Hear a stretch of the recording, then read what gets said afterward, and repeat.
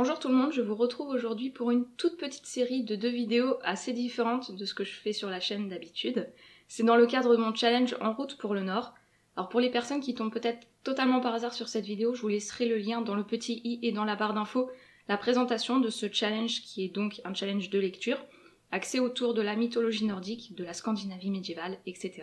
Dans ce challenge, il y a notamment deux sous-catégories où j'ai mis plusieurs groupes de mots-clés ces mots-clés font référence à des aventures, des légendes plutôt, qui sont arrivées à deux divinités en particulier, Baldr et Skadi. J'ai décidé donc, pour faire découvrir un petit peu plus la mythologie nordique, de faire une petite lecture de ces légendes-là. Pour agrémenter un petit peu la vidéo, pour illustrer un petit peu, j'ai décidé de faire des petites captures vidéo de, de jeux vidéo justement, Elder Scrolls Online et Assassin's Creed Valhalla, donc forcément, historiquement parlant, c'est pas du tout cohérent. Je vous laisse donc avec ma première lecture qui concerne surtout Baldr. Et la semaine prochaine, si tout va bien, vous aurez ce qu'a dit. La mort de Baldr. Baldr, que l'on nommait le bon, à cette haute époque où la bonté ne s'était pas encore trahie en charité, Baldr donc, se trouvait tourmenté par de terribles rêves. Il croyait sa vie en grand danger, et se voyait mort. Il raconta aux As assemblés ce qui constituait le tourment de ses nuits. Triste de ces funestes présages sur le meilleur d'entre eux, il décide de conjurer les dangers qui le menacent. Sa mère, Fring, la femme d'Odin, reçoit de tout être et de toute chose le serment que Baldr sera épargné par le feu et par l'eau, par le fer et par toutes les espèces de métaux, par les pierres, la terre et le bois, par les maladies mortelles, et par les animaux sauvages, par les oiseaux, les poissons et les serpents. Mais Odin ne peut s'empêcher d'être envahi lui aussi par de terribles pressentiments. Il scelle Sleipnir et chevauche vers le pays des brouillards et de la mort. Il est accueilli par les hideux aboiements de Garm, le chien au poitrail souillé de sang qui veille sur le domaine de l'affreuse Hel, fille de Loki. La terre tremble sous les huit pattes du cheval d'Odin, qui continue à chevaucher dans la brume jusqu'au pied de la haute muraille de la forteresse où réside Hel. À l'est de la porte se trouve le tombeau d'une Vala, une de ces prophétesses qui traversent l'histoire des dieux avec leurs chants de magie et de destin. La Vala est morte et repose dans son tombeau. Mais Odin sait quel refrain peut la ressusciter. Le voici qui entonne un chant magique. Il regarde vers le nord et trace des runes. Puis il exige que la Vala se relève de son tombeau et lui donne une réponse. Soudain, il entend une voix féminine qui s'élève. Quel est cet homme inconnu de moi qui vient accroître ma douleur? Depuis si longtemps j'étais morte. J'étais couverte de neige, fouettée de pluie et mouillée de rosée. Quel est-il celui qui m'arrache au tombeau? Vectam est mon nom, répond Odin, et je suis fils de Valtam. J'arrive de la terre pour te rendre visite et t'entendre parler du monde de Hel. Pour qui sont ces bancs couverts d'anneaux, et pour qui sont ces couches revêtues d'or? La prophétesse semble hésiter à répondre au voyageur inconnu, tant elle détient un terrible secret. Enfin, elle murmure d'une voix sépulcrale. Ici se trouve de l'hydromel brassé pour Baldre. La race des dieux sera au désespoir. J'ai parlé sous la contrainte, et maintenant je garderai le silence. Je te l'interdis, Vala, je veux tout savoir. Qui ôtera la vie au fils d'Odin? Ce sera le fils d'Odin. Le frère tuera le frère. À chaque réplique, la prophétesse affirme qu'elle parle sous la contrainte et qu'elle décide de se taire.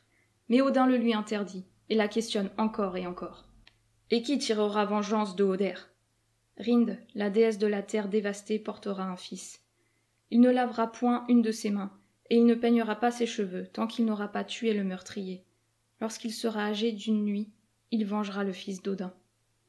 Soudain, la Vala reconnaît dans ce voyageur borgne qu'il interroge le père de tous les dieux, et lui lance Tu n'es pas Vectam, tu es Odin, le seigneur des hommes. Tu n'es pas Vala, tu es la mère des trois Turs du givre. Alors, la prophétesse dit à celui qui est venu la réveiller de la mort et la questionner jusqu'au cœur de l'épée brouillard Retourne à cheval chez toi, Odin. Plus jamais personne ne viendra me visiter jusqu'au combat final qui doit tout détruire. Fring, la mère de Baldre, a donc obtenu du destin que son fils soit épargné par tout être et toute chose.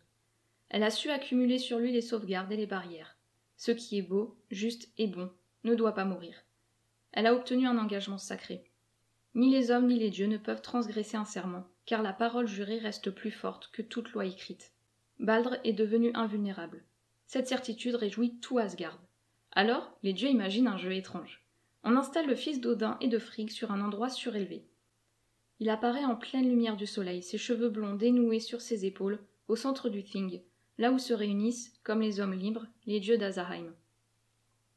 Pour s'amuser, et puisque Baldre ne risque rien, les As lancent contre lui des pierres, des épieux, des flèches.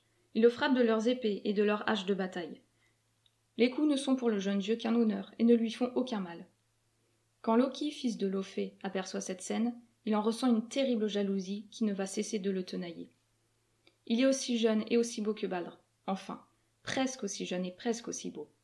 La différence peut sembler infime, mais elle suffit à remplir son cœur de jalousie et d'amertume.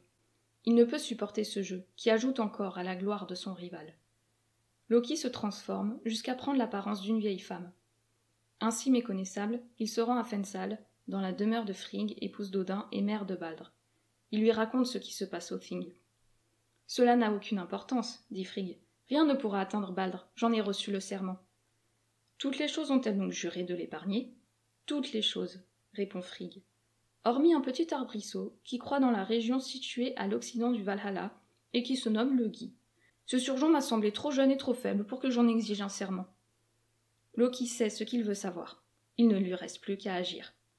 Il se rend à l'endroit indiqué par la déesse Frigg et coupe une branche de gui qu'il taille pour lui donner la force et la dureté d'une flèche. Puis il se dirige vers l'emplacement du Thing, où sont réunis les dieux. Pourquoi ne lances-tu rien? demande Loki à un as qui se tient à l'écart. Cela m'est impossible, répond-il, je suis aveugle et je n'ai pas d'armes.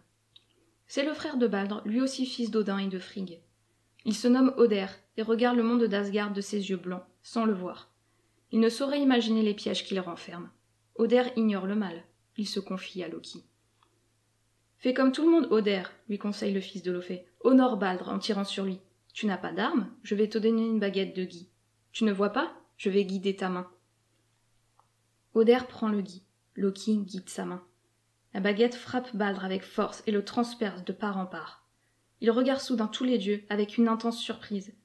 Puis la douleur déforme son visage et Baldre le Bon s'écroule au centre du Thing. Son corps s'immobilise sur l'herbe toujours verte. Une légère brise agite encore ses cheveux couleur de moisson. Mais il est mort. Baldre mort.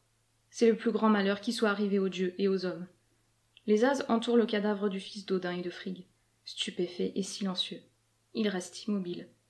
Il se regarde, incrédule, plus encore que peiné. Pas un n'ose toucher le corps de l'invulnérable. Pas un n'ose accuser son meurtrier. Le Thing se trouve placé sous la sauvegarde des lois. Loki a commis son crime dans un endroit sacré. On ne peut en tirer vengeance. D'ailleurs, aucune vengeance ne pourrait ressusciter le fils d'Odin et de Frigg. Le silence peut seul exprimer la douleur des As. Les larmes coulent sur leurs joues mais aucune plainte ni aucun cri ne s'élève. Les dieux du Nord souffrent sans gémir. De tous, le plus silencieux et le plus déchiré est Odin. En Baldre, il perd son fils préféré. Avec lui meurt la jeunesse du monde. Loki, en dirigeant le bras de Oder, a voulu tuer l'espoir.